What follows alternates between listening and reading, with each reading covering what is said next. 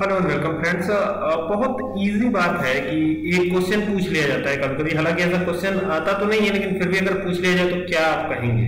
जैसे मान लीजिए इज़ इक्वल टू का निशान लगाया, यहाँ पे लिखा मैंने थ्री ठीक है? इंटू का साइन लगाया, फिर एक बार और इंटू लगा दिया। अब ये दो टाइम इंटू लग गया है, और यहाँ पर मैं क्या करता हूँ, इसे यहाँ लिखता हूँ टू तो अगर आपसे पूछा जाता थ्री इंटू टू तो आप बोल देते सिक्स लेकिन यहाँ दो बार इंटू लिखा हुआ है। तो यहाँ पर आंसर क्या आएगा? 300 आएगा। क्यों 300 आएगा? कि ये ऐसा सपोज़ करेगा कि थ्री टेन का तो थ्री टेन का थर्टी होता है थर्टी टेन का कितना होता है? 300 तो 300 ही आपका आंसर आने वाला है। ये देखिए, कुछ इस तरीके से। तो आपसे ये क्वेश्चन अगर पूछा जाए तो आप 300 ही जवाब देंगे।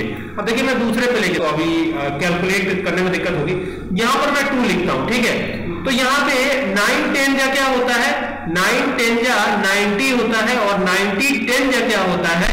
वो होता है आपका 900 तो यहाँ पे 900 आ जाएगा।